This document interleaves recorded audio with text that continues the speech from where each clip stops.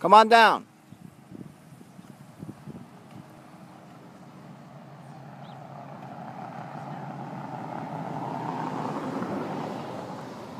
Come on, Nicholas, you always do it. What are you scared about? I'm scared.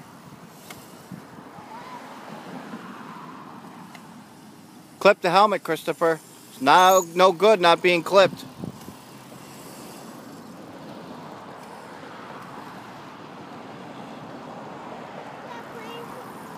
All right, sweetheart.